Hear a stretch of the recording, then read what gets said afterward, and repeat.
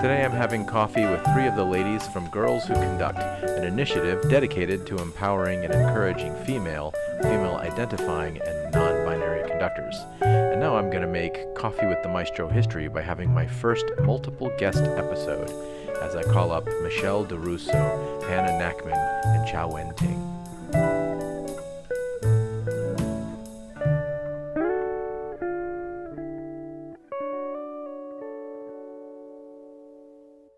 Good morning, ladies. How are you? Good morning. Good morning. Morning. Hey. This is an exciting um, coffee talk this morning because it's the first time ever I've had coffee with more than one person at a time. And so today, uh, I'll let the, each of you introduce yourselves, but uh, we've got the some of the ladies from Girls Who Conduct. So Michelle, you're you happen to be my top left uh, picture. So so who are you? wow, that's a deep question for a morning coffee. uh, my name is Michelle di Russo, and I'm originally from Argentina, currently in Washington, D.C., and I'm co-creator and instructor of Girls Who Conduct. So I'm yeah. happy to be here with my team, part of my team. Well, if you're from South America, you must know something about coffee.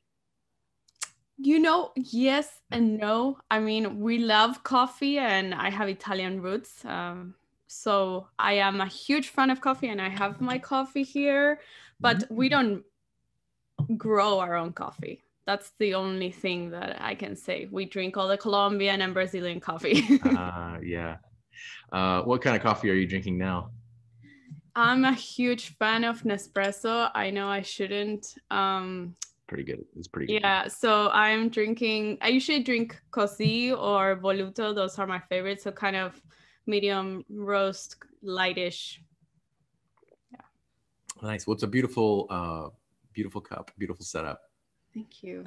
It's my first um, and and then you said you live in Washington D.C. and um, and you and I met online a couple months ago, and we were doing something, another thing that Chaowen organized. Um, we were doing um, Maestro's Professor together, or we met each other there, and um, and we both lived in D.C. for some time. Did you live there also about five or seven years ago when I lived there? Did we live at the same time? No, I wish. I moved here during the pandemic. So I've been here since June, more or less. And it's because my partner is in the military, which is another thing we have in common. Uh, different branch, though, Navy. Ah. Uh, but yeah, so I haven't seen much of the real city. It's been a, a weird, you know, getting to know the places, coffee shops. A lot of them are closed. So I hope I can see the big grandeur of the city soon. Yeah, I hope so too. It's a beautiful city, actually. It's really wonderful. Yeah. All right.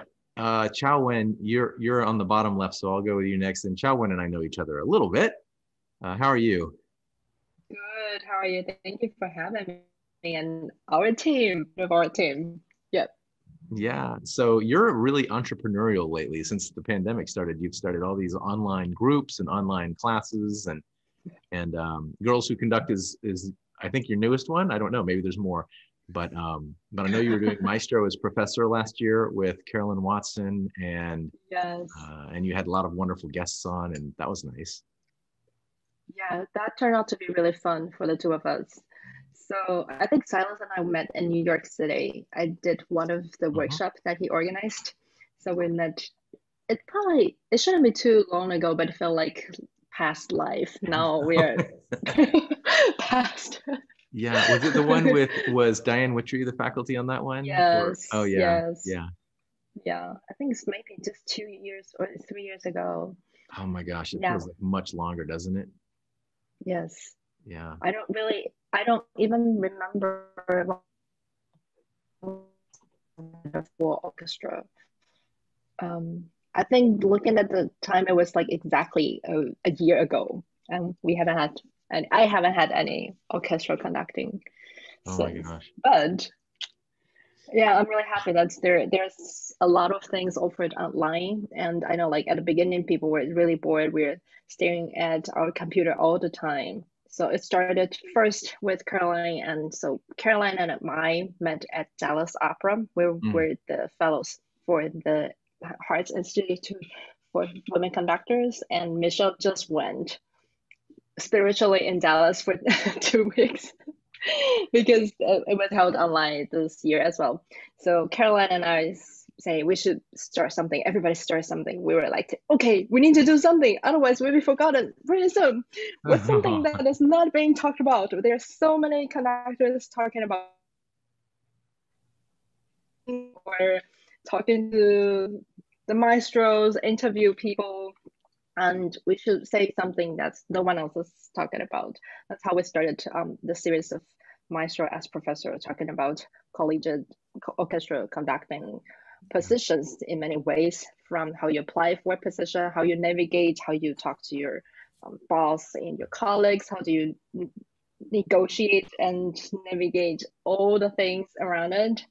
And after that, we took a break, and Caroline and I did a mini show for um, conducting 101 this during Christmas.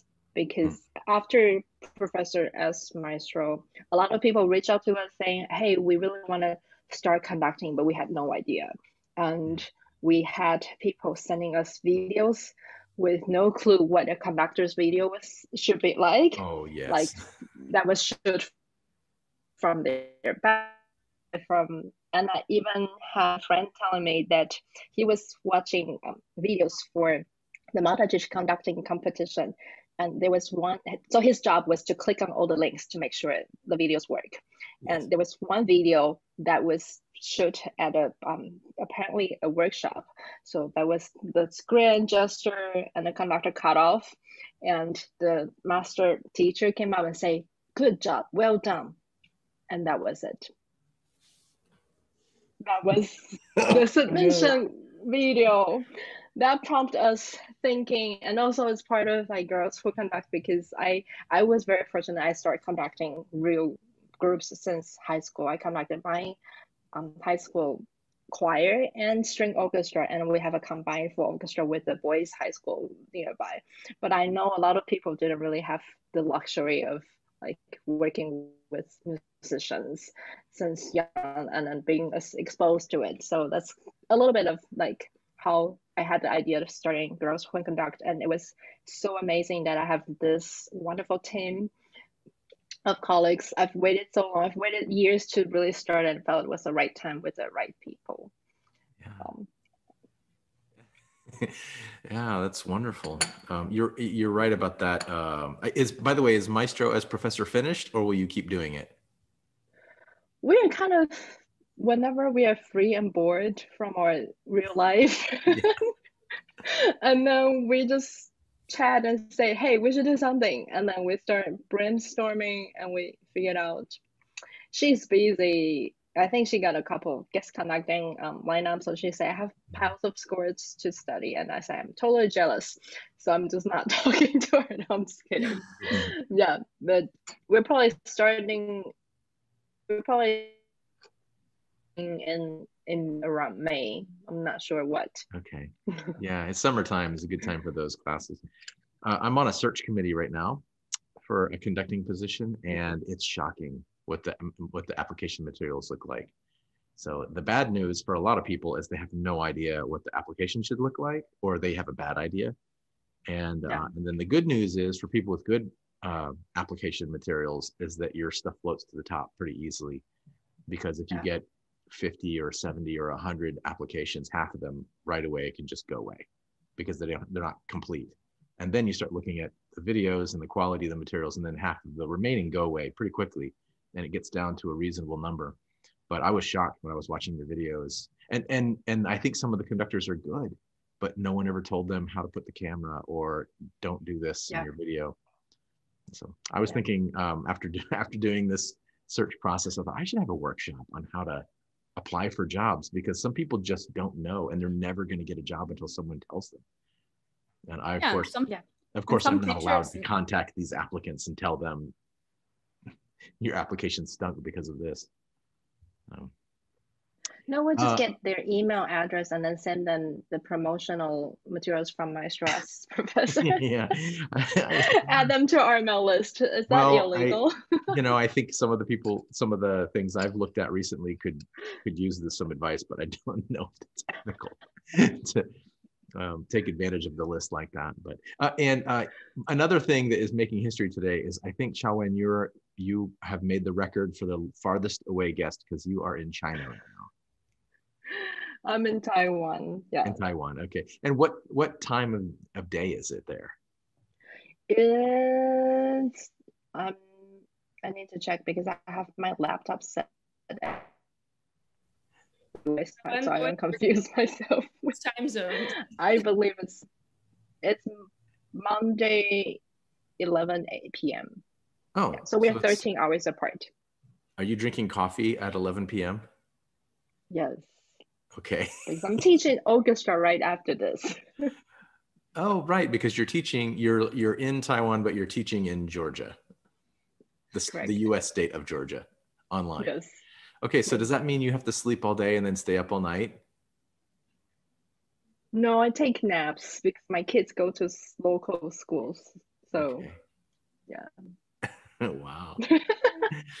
Incredible. Well, Hannah, nice to meet you. I um, have we've never met before, and although I think we we talked just briefly about how we almost crossed paths in, at the Manhattan School of Music there, but you, so you're still in New York City right now. I am. Yeah. So nice to meet you. I, I, mean, this is so lovely. Thank you for having us. Um, yeah, I'm I'm still in New York City. Uh, I don't know if I'm interacting with the city, but I am here. yeah. Well, I have so many friends there, and a lot of them are your friends too. But it seems like uh, people are getting out and walking around, and they're sort of in some way experiencing the city. Yeah, yeah. Uh, when it when it was a little warmer out, we did a lot of stuff, or I guess I can only really speak to my ensembles. I don't know what other people are up to, but um, we did a lot of stuff out in like the parks and like because I I am mostly a choral vocalist person as we talked about, and so would coordinate some like sing-ins where everyone was spread out across you know under an arch in Central Park or that kind of thing. So it has been nice to be able to like get some air, but kind of like Chow and Michelle have said, like our ensembles are really just kind of stopped or virtual right now, which is just nuts. But um, yeah, I I can't bring myself. I I was crazy enough to actually buy a place in the pandemic. I, I'm not one of the people that fled the city. I took the opposite.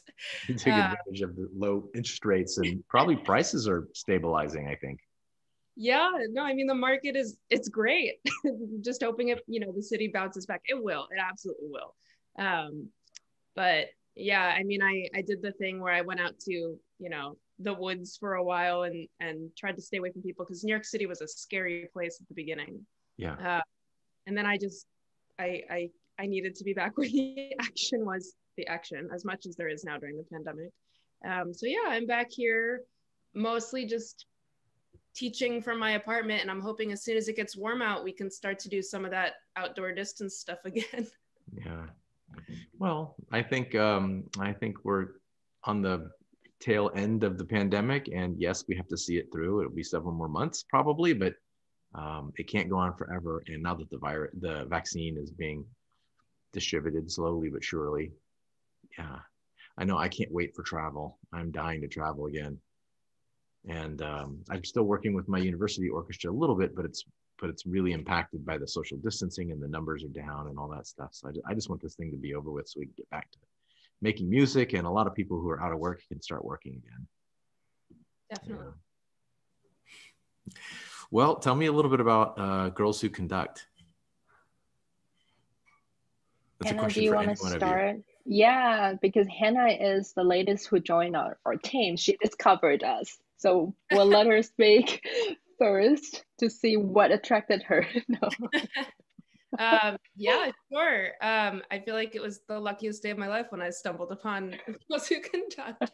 Um, yes, basically, I mean, I'm sure others can attest to this, but you know, with the pandemic, I sort of threw myself into my online presence. Um, and so I built an artist page and started connecting with so many artists, you know, either that I already knew or for the most part, I feel like it's kind of like we talked about Silas, where so many people that like I was running in these concentric circles with, I like actually started to connect with. And so a thing that kept being suggested on my feed was this girls who conduct thing. And I kept clicking on it and being like, this is so cool. Okay, next. And then it would show up again. And I, so finally I like decided I was like, no, I can't ignore this. This is something that like I've wanted to create myself. Uh, and so I messaged them and I was like, I, I should preface this by saying that before I went to do my master's at, at a conservatory, I did the liberal arts thing at a women's college. I went to Bryn Mawr for undergrad. And so they like planted the seeds of a feminist, like deep, deep, deep inside of me.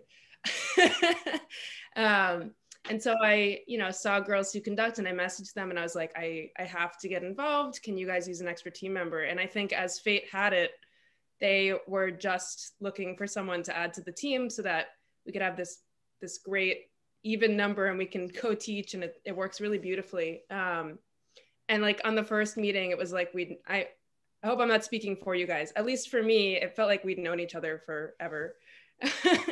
Um, yeah and then it kind of it kind of uh, went from there. So the program i'm sure Chaowen could speak to this even better as the you know the the true founder. yeah the brains of it all. I've never met someone more organized in my life. If i you know ever start a choir he's going to be on my board. How you know Chad. Um, but so um, yeah, basically we're we're a mentorship program uh, for young women, women identifying and non-binary folk, um, and we just strive to provide a space for uh, young people to come talk in a you know uh, this field is very male dominated it's just how it is in the industry. And so we just had our first session uh, this past weekend and it was amazing. It was so inspiring. And the questions we got at least uh, what i was hanging on to were so many things that you wouldn't get in a normal conducting class. Yeah yeah okay good. It wasn't just me that noticed that. So i mean we had the basics. We we broke out into breakout rooms. We talked about basic gesture. We talked about you know rehearsal etiquette all the stuff you would get in a normal class for conducting. But then we had all of these beautiful additional layers that were very gender specific um, like you know our physical bodies as women or you know what to do in xyz situation that you wouldn't necessarily get in a normal class. And i found that so amazing because you know i went through grad school and i had these questions in my mind and i i didn't necessarily feel like it was the right time or place to ask them. Um, so yeah, so so we're in the middle of our inaugural program, and I know Chaowen has lots of other ideas on the uh, the burners for what's to come next. Um, but it's been so so inspiring. um, I'm sure they can they can fill in the gaps I'm missing so much because this this program has so many facets to it, which is what makes it wonderful. You guys mentioned um, the applications and getting all these applications that you have to kind of table because they're not quite complete. Day one, Chaowen was like, "Okay, guys." or sorry, we're changing our terminology. I need to fix that too. okay, everyone, we need to talk about your applications. Some of these you did not follow the directions. Let's get into the weeds of this and make sure you know what an application should look like right now. um, and I just remember like the girls were just like, oh, all right, here we go. But it's great. I wish I had someone do that for me when I was in high school. But yeah, yeah, I'm gonna toss the baton, no pun intended, to uh, Michelle and Chaowen to speak more about the program. Yeah, what, what types of uh, classes or courses are on the website and how does a person sign up for them, et cetera? Okay, I didn't want to overstep. Um, yeah, I just want to say that it's really amazing how Chaowen just put this group of women together to for this, you know, very specific purpose that I think we're all very passionate about. And our team, I think it's special because we all have our superpower in some way. You know, some are more orchestra uh, oriented, uh, opera or choral or music education. So I think that it completes, you know, all of our or, or, areas that we need in order to provide a good service. So we started this Saturday and we're gonna have a couple of weeks of instructions every Saturday. And the girls basically can, there are electives, so they can choose each Saturday what to focus on, either score study or programming. And a lot of it depends on their level. We were talking about it with Chaowen. Maybe some are more experienced and would like to learn about rehearsal techniques, and others are more on the beginning stages of conducting and need um, basics on how to hold a baton or basic patterns or how to approach score study. So we've divided each, each, um, each member has taken over some of the topics and each Saturday we will uh, just focus on them and go to breakout rooms and yeah i don't know if Chaowen if you want to say anything else i want to give you some space. Mm-hmm. uh, so um, historically i attended several initiatives that were targeting women conductors since maybe like almost seven eight years ago. So i think it was one of the first members who was on the masterclass that alice farnham royal house um, royal opera house so like they organized the workshops for women conductors only and there were only 24 applications you can imagine any free program with only 24 applications because people were skeptical. Why are you only inviting women conductors? Oh, and it was like, it was amazing. So I talked to Alice and she said her idea was to train more women becoming conductors at any level. So just like women physicians. So if you go to a doctor's office now, when you see a women doctor, you don't feel insecure like or you don't feel that the doctor won't treat you well because she is a woman. So she felt it's a, a number thing. And because of her background she was an organist. She never thought she would be a conductor until like she had to lead church choir and then felt okay she needed to learn something about conducting. And that seemed to be some common background or experiment uh, ex, um, experience. So but I, I was completely opposite. Like i was i never felt that i couldn't do anything because i was a girl. And partly i later found out partly because i went to girls high school. So during the time my formative times i didn't have to compete with boys. I was just who i am. Um, as girls and we could do anything that's the like the model of our school is like we can we can run the country and run a family that's how we train our girls in my high school so but anyways in our um in the most ideal world when we have all the money and all the people that we have we want to have three different branches for girls who conduct for like the really young middle school or even like elementary school girls just for them to have role models and to see that this is something that you can consider for your future. And we'll have like the emerging ones for people just getting out of class uh, uh, trainings or like applying for graduate stu- studies and also for like the professional women to have some community.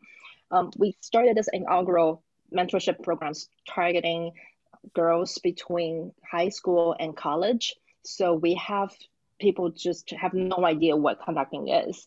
Um, mm-hmm. They just mm-hmm. wanted to know more. To high to college senior who has who are thinking about applying for graduate programs who had maybe done some conducting regularly through their school program. So we have a six week um, workshop we talk about from conducting to like Michelle said there they can elect to be um, doing score study, rehearsal strategy, or programming ideas. And then we talk about resumes, um, building your career, and how to send applications. And every week, because it's targeted to serve, we talk about some gender issues that we all faced or might be facing. We started talking about implicit bias, for example, and then we would be talking about confidence, like traditionally girls and boys or our comfort level and confidence level are a little different. Girls tend to apologize a little more when they don't feel they are following the rules, for example. Mm. Um, you see more girls conducting on the podium, they close, like they say, um, sorry, can we go back? Um, can we please go back to the beginning? You very rarely hear a guy saying, sorry, we need to fix this. I'm sorry, can we do that? I'm sorry, can we make it softer here? But it's very natural because a lot of the women are trained to apologize first. And also, when you're on leadership positions, when you start softer, people tend to listen to you a little more. They don't cut you off uh, quite as quickly.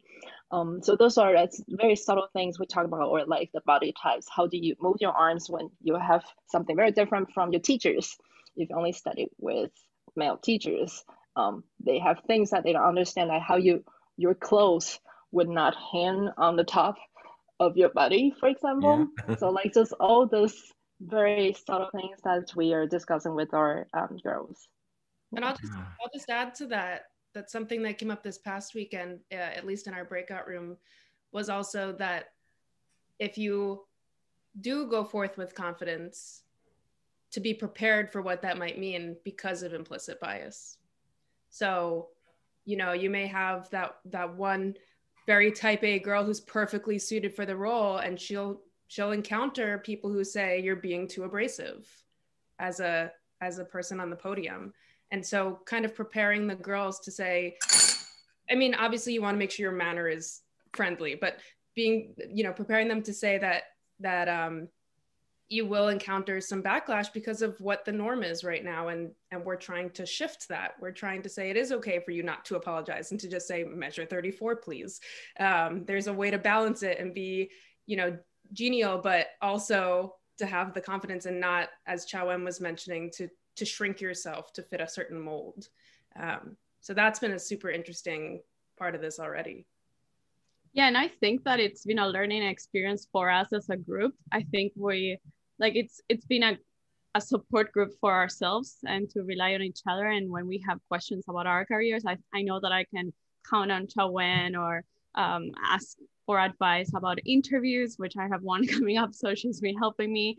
Uh, so I think that it's been a, a, a good, um, besides the support group, like I think it has taught us that we can rely on each other. And most of us didn't have that group while going through our careers. And it actually makes a huge difference. So I think that we're hoping that those girls can rely on each other too and create their own groups.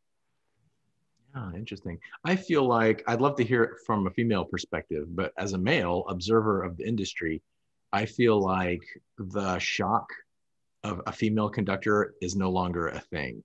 Uh, and I'm sure with with some people it is, but I remember 20 years ago, or even 10 or 15 years ago, when you heard about a woman getting a job in an orchestra, people say, "Oh, wow, a woman big deal, a woman." And now, lately, like in the last three or four or five years, you see women conductors winning jobs all over the place, mostly assistant conductor jobs. You don't see a lot of music directors yet. But I feel like it's no longer a shock. It's not news when a woman wins a job anymore. Do you feel the same way?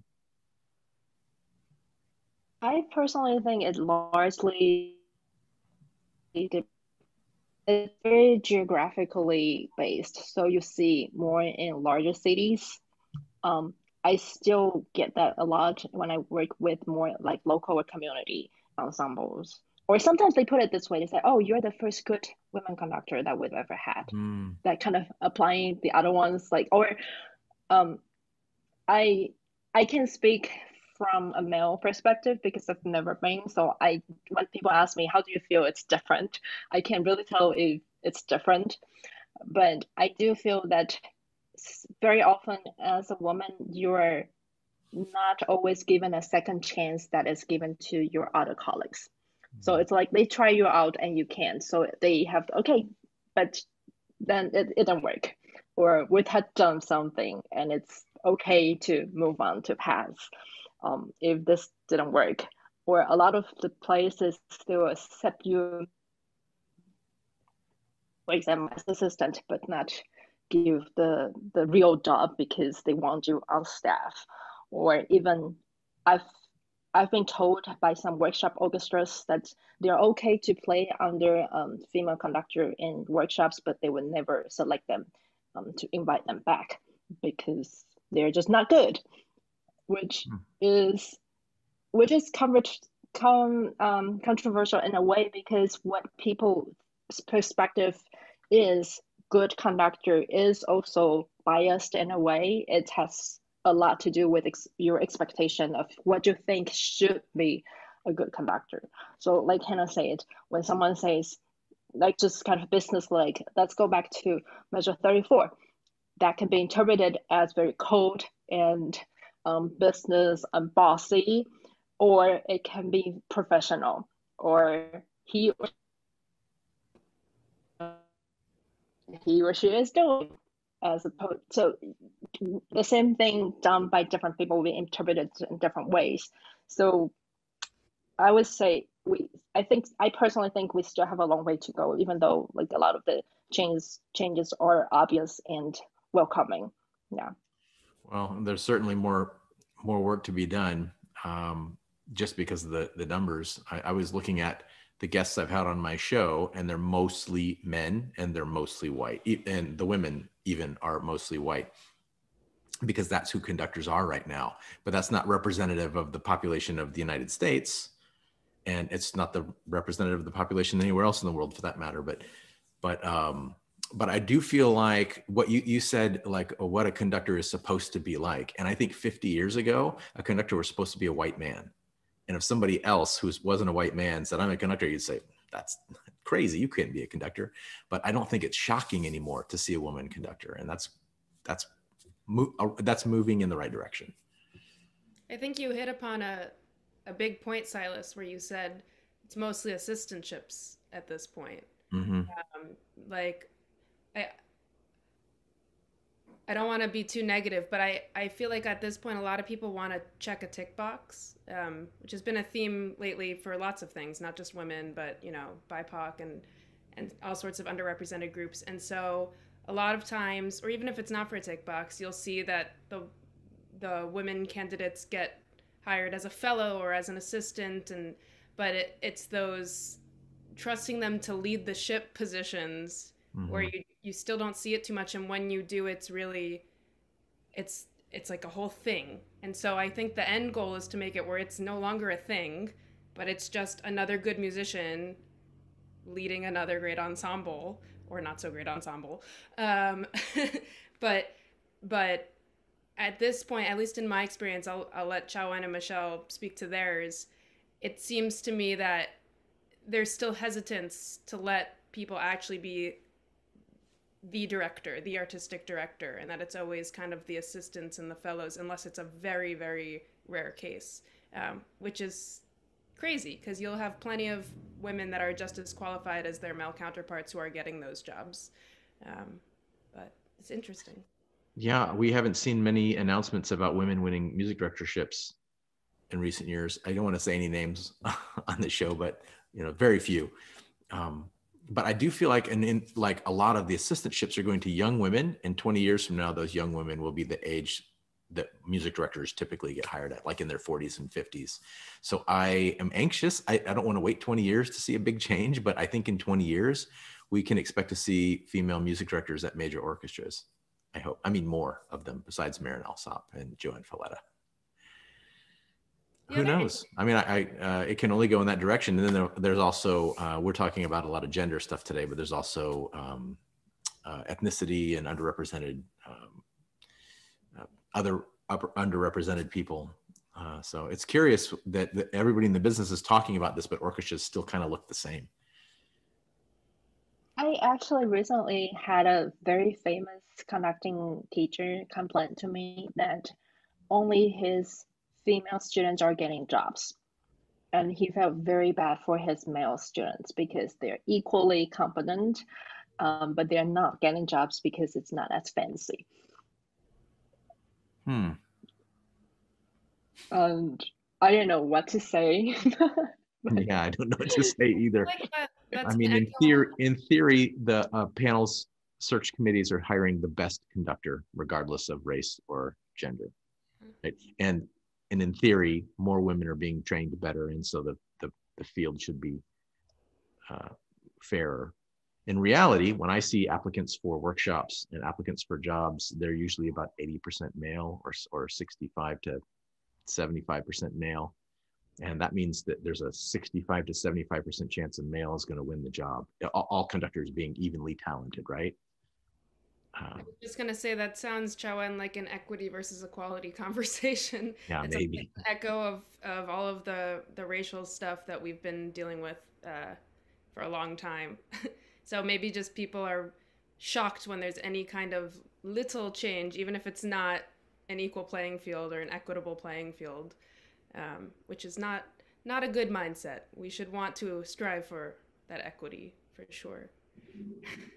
Mm. What are what are things like in other countries? Like uh, Michelle, you said you're you're um, you're not American. I don't know if you're an American citizen, but you're not American by birth. So what are orchestras like in South America, for example? Yeah, so Argentina, and that's the the place I was raised and born in. I can speak to that. Um, it's it's a very interesting culture. It's very progressive in some aspects and then very conservative in others. And concerning classical music, it's still a little behind. Um, I I personally didn't have good experiences with um, some workshops and teachers that would tell me um, I couldn't conduct certain repertoire because of being a woman, or I was not taken seriously, um, and they thought that I was going to rehearsals or uh, you know, approaching them not because of conducting, but other matters when I was just there for my career, you know. And so when I saw that that was happening, and also I'm a young conductor, and that's not a good thing in Argentina, especially if you're a woman, you're not going to get as many opportunities. I realized I needed to get out of there, you know, and continue studying. There were also no uh, graduate programs offered for conducting. So that's that was the main thing that pushed me to come to the USA and continue my studies. And also, I felt, you know, I had more opportunities here. And it, although it would still be hard to be a woman, it would be less aggressive or not as a big of a, of a fact as I felt it was in Argentina. So I think there's still a lot of progress to be made they're starting to get uh, women in some assistant conductor positions, which is a new huge thing, which has never happened. So that's the first step. But I do agree with everybody that at least here now that I've graduated from my doctoral degree and I'm trying to enter the workforce either professionally or in academia, I can tell that when you're starting to get to the higher levels of of playing the game, right? I, I can tell that it's it's harder to be a woman and um, there are other considerations that you have to have in mind when interviewing you know so i do believe that change is coming i do believe that the pandemic has forced everybody to see to look at themselves and how they're relating to their communities and how they want to be represented in arts and cultures so i do think a change is coming it will take a few years but you know i'll keep fighting Well, I think uh, Girls That Conduct is a good thing that you started Chaowen. And uh, who else is on the team? So we have Michelle Rafano, who is our opera specialist, mm-hmm. and Caitlin Bove. He she started conducting band and now switching.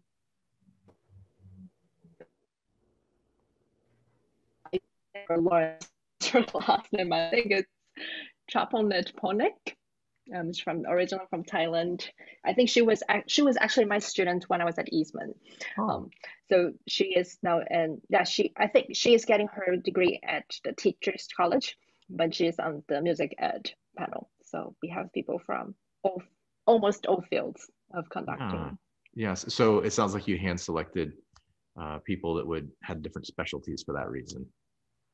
No, it, it turned out to be that way. So oh, I harassed no, I harassed like over a, a hundred women conductors to fill out a survey when I was starting this.